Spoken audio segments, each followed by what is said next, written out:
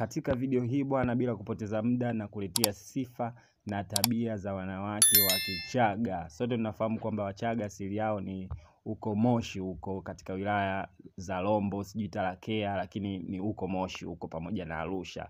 Ya he bwana, hizi ndo tabia na sifa za wanawake wa Kichaga. Ya he bwana, sifa namba moja bwana, wanawake wa Kichaga bwana ni warembo wa sura, wana sura nzuri sana, wana ngozi kama watoto, ni weupe weupe wao wa kung'aa e, lakini shepu zao bwana mara nyingi uwaga sio nzuri kihivyo, hazivutii sana, lakini ni wazuri wa sura.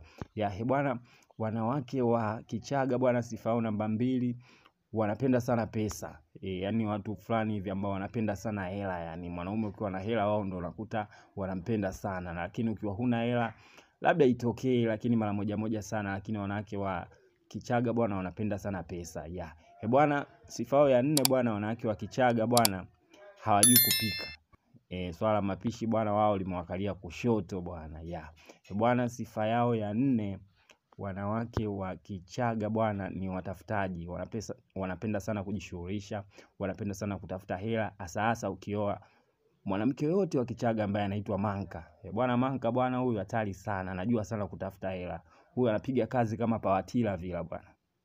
Umeona ya sifa yao ya tano bwana, na ya mwisho, wanawake wa Kichaga hawajui mapenzi kitandani, hawako seksi e, na staili yao kubwa ni kifo cha mende bwana, hawana staili nyingine zaidi ya hiyo. Ya hizo ndo sifa na tabia za wanawake wa Kichaga. Ulikuwa na mimi mtangazaji wako Tino Ladifa, na kusii uweze kusubscribe hapo chini, lakini pia naweza na, naomba unifollow kupitia Instagram yangu kama Tino Ladifa pamoja na ile ya Memorata TV. Unakuwa unatisha sana kwa sasa. Mimi na sign out.